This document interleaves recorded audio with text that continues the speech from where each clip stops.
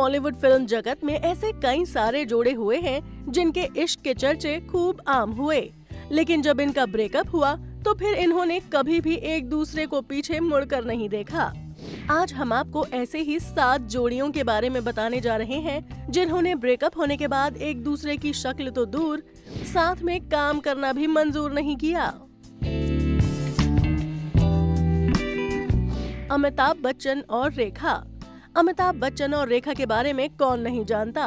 सत्तर के दशक में इनके बीच नजदीकियों के किस्से आम थे। बड़े बड़े निर्माता निर्देशक इन्हें अपनी फ़िल्म में साइन करना चाहते थे।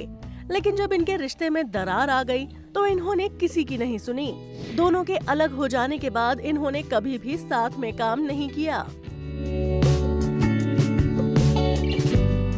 सलमान खान और ऐश्वर्या राय बच्चन। सलमान खान और ऐश्वर्या राय बच्चन नब्बे के दशक के सबसे मशहूर कपल हुआ करते थे। इनके प्यार के किस्से हर मैगजीन में छपा करते थे। हालाँकि कुछ कारणों के चलते इनके बीच दूरियाँ आ गईं और फिर इन्होंने कभी भी साथ में काम नहीं किया।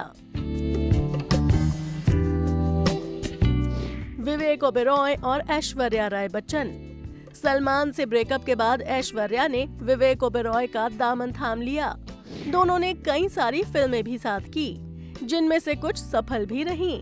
हालाँकि इनका रिश्ता भी ज़्यादा दिनों तक नहीं चल सका। इसके बाद इन्होंने भी कभी भी साथ में काम नहीं किया। ऋतिक रोशन और कंगना रनौत। ऋतिक और कंगना के रिश्ते और ब्रेकअप के बारे में कौन नहीं जानता? क्रिश जैसी फ़िल्म में धमाल मचाने वाले ये कलाकार आज एक दूसरे की शक्लें भी नहीं देखना चाहते।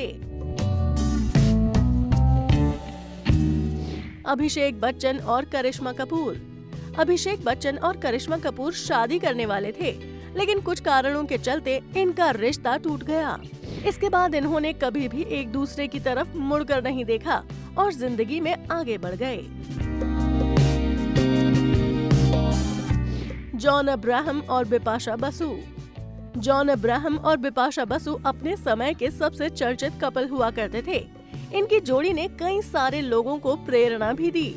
लेकिन अंत में ये दोनों ही अलग हो गए। दोनों ने ब्रेकअप क्यों किया, इसका कोई खास कारण सामने नहीं आया।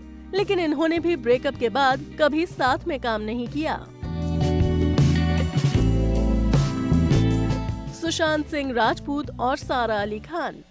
सुशांत सिंह राजपूत और सारा अली खान ने एक ही फ़िल्म में साथ काम किया, जिसका नाम केदारनाथ है।